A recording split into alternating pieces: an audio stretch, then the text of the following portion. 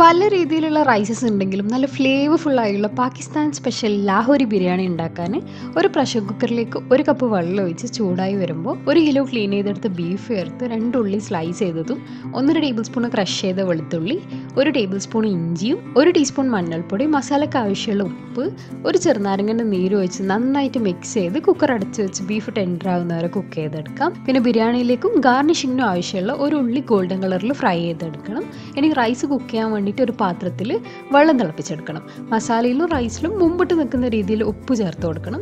Rice stick ആവാതിരിക്കാൻ ഒരു teaspoon ഓയിലും ചേർത്തിട്ടുണ്ട്. എന്നിട്ട് തിളച്ച് വരുമ്പോൾ അരമണിക്കൂർ സോക്ക് ചെയ്ത് സ്ട്രെയിൻ ചെയ്തെടുത്ത് മൂന്ന് കപ്പ് ബസ്മതി റൈസ് ഇട്ട് നയന്റി പെർസെന്റേജ് കുക്കായാൽ റൈസ് ഒരു സ്ട്രെയിനറിലേക്ക് മാറ്റി കംപ്ലീറ്റ് വെള്ളം സ്ട്രെയിൻ ചെയ്തെടുക്കാം. അപ്പോഴത്തേക്ക് കുക്കായ ബീഫ് ഗ്രേവി കൂടുതലുണ്ടെങ്കിൽ വറ്റിച്ചെടുക്കണം. ഇനി ഉള്ളി പൊരിച്ചെടുത്ത ഓയിലിന് രണ്ട് ടേബിൾ സ്പൂൺ ഒഴിച്ച് സ്പൈസസ് ചേർക്കാം.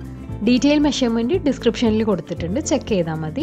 ഇതിലേക്ക് രണ്ട് തക്കാളി കട്ട് ചെയ്തിട്ട് കുക്കായി വരുമ്പോൾ രണ്ട് ടീസ്പൂൺ മുളക് പൊടി രണ്ടര ടീസ്പൂൺ മല്ലിപ്പൊടി ഒരു ടീസ്പൂൺ പെപ്പറും ചേർത്ത് പൊടികൾ മിക്സ് ആയാൽ അരക്കപ്പ് തൈര് ഒരു പഞ്ച് മല്ലിയിലയും പുതിനയിലയും ഇട്ട് വറ്റിച്ചെടുത്ത ബീഫിന്റെ ഗ്രേവിയും ചേർത്ത് എല്ലാം കൂടി മിക്സ് ചെയ്ത് അടച്ച് വെച്ച് അഞ്ച് മിനിറ്റ് മീഡിയം ഫ്ലെയിമിൽ കുക്കായാൽ ഒരു ടീസ്പൂൺ ഗരം മസാല കുറച്ച് ഫ്രൈഡ് ഓണിയൻസ് ചേർത്ത് സ്ട്രെയിൻ ചെയ്ത അരി മേലെ രണ്ട് ലെയറായി സെറ്റ് ചെയ്തെടുക്കാം. ലെയർ ചെയ്യുമ്പോൾ മല്ലിയില കുറച്ച് ഫ്രൈഡ് ഓണിയൻസ് റൈസ് കുറച്ച് യെല്ലോയിഷ് കളർ ആവാൻ വേണ്ടിയിട്ട് പാൽ കുറച്ച് മഞ്ഞൾപ്പൊടിയിൽ മിക്സ് ചെയ്തതും സ്പ്രിങ്കിൾ ചെയ്ത് സെറ്റായാൽ അടച്ച് വെച്ച് പത്ത് മിനിറ്റ് ലോ ഫ്ലെയിമിൽ ദം ചെയ്തെടുത്ത ശേഷം മേലെ റൈസ് മാത്രമായിട്ട് മിക്സ് ചെയ്യാം. തീരെ സ്റ്റിക്കി അല്ലാത്ത ഓരോ റൈസിലും മസാലന്റെ ഇൻഫ്യൂസ്ഡ് ഫ്ലേവറായി വിട്ട് വിട്ട് നിൽക്കുന്ന അടിപൊളി ബിരിയാണി.